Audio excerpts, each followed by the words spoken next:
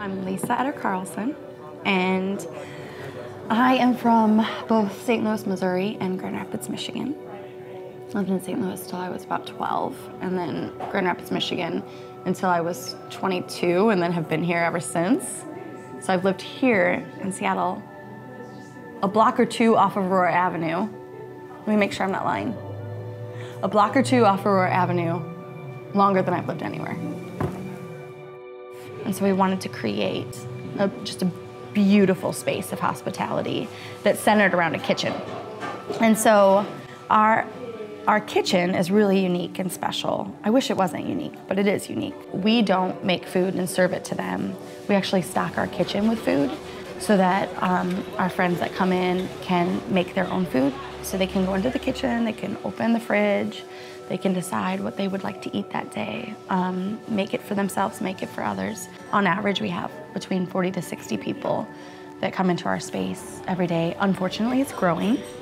Anything that has happened or developed, like any of our programs, have developed out of them teaching us what it is that, that they need. I'll just go ahead and let you know you missed out on one of the best meals ever. So what you'll see is, I think what I think you'll see, is the doors open and people come in and they just start cooking food. We'll start smelling eggs and we'll start hearing people interacting with one another and laughing. Probably hear some arguing at some point. A lot of people sleeping, just resting. It is never boring. It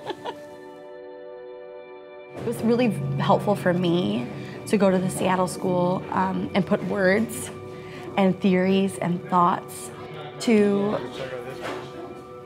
all the, for lack of a better word, direct service that I've been doing for so many years.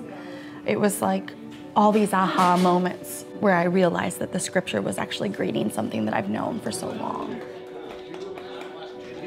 I hope it's a place where we're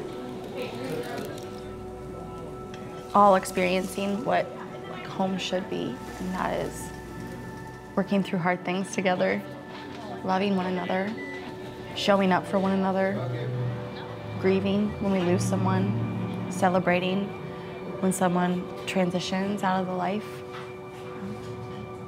I think here is where I have experienced more home than any place. This is home.